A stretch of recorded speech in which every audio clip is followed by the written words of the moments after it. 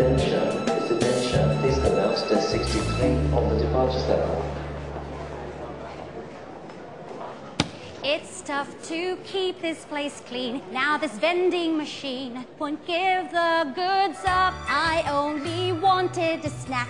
I gave it a smack. My bag of crisps from fall, it kind of wants to it's on the edge. It's so frustrating, this mechanical monster has on the edge. It's making me crazy. I did my crisps out. Is that too much to ask? So you're hungry, but for food or physical love? Cause they're just crisps, babe, they're only thin deep fried potatoes. You're just lonely, that might go away if you date us.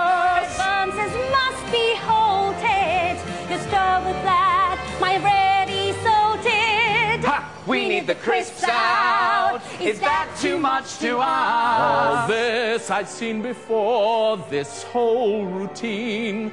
Cause I've also been shafted by this vending machine. Just the thought makes me wince. I still long for those mints.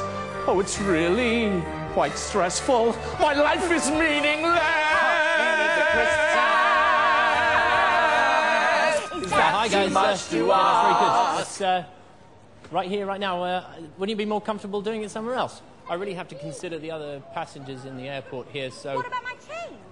change. What? Don't you think I want changes? Walking round, swinging my truncheon. Don't you think I'd change under this uniform? Since I did karaoke at the police and fire brigade Christmas function, I just want to take the world by storm. Let me perform.